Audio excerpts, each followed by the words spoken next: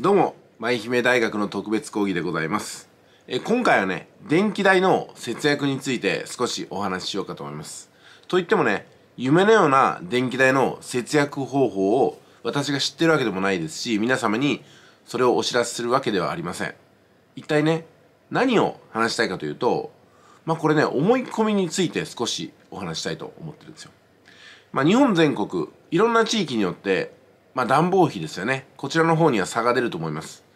やっぱり雪国では24時間ぐらい暖房してないと本当生命にかかりますからね。で、今ね、南国と言われる九州や鹿児島でもやっぱ寒いそうなんですよ。ですんで暖房は欠かせないと。でもやっぱりね、寝る時には暖房を切るぐらいのことはするのかなと思いますし、あったかい布団に入ればそれなりの保温効果って求められるのかなと思うんですよ。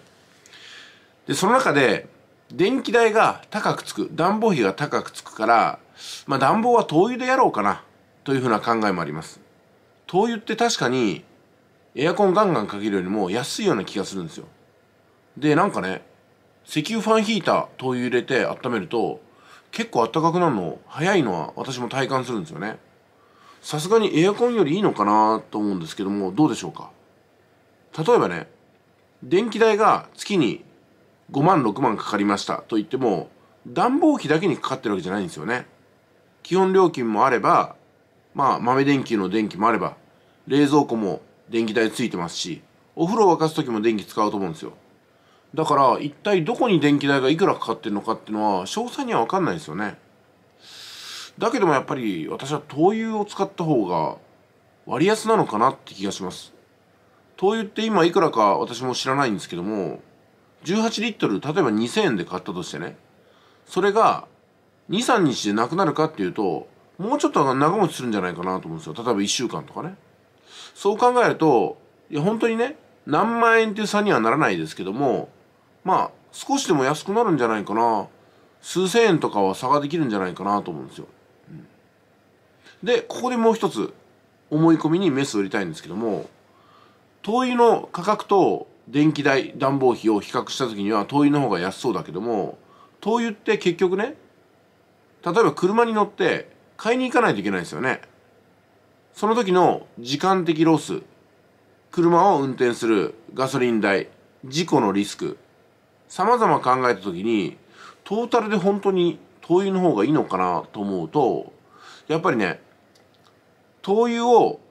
何回も何回も買いに行ったらやっぱそれこそロスだと思うんですよ。ですんで、この辺のバランスどう考えるかってことでしょうね。まあ人によっては18リットルの灯油缶を持つのが大変だっていう方もいるかもしれません。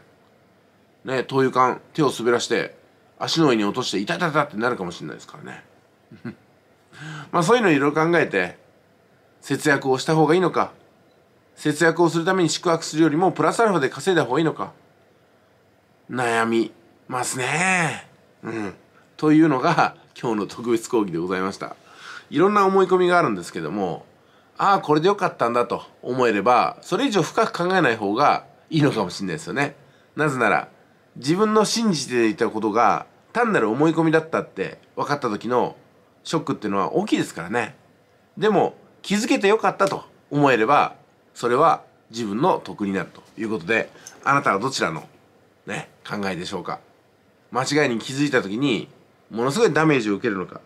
間違いに気づいた時にああ気がつけてよかったと思うのかそれはあなた次第なのかもしれません。それでは寒い冬一緒に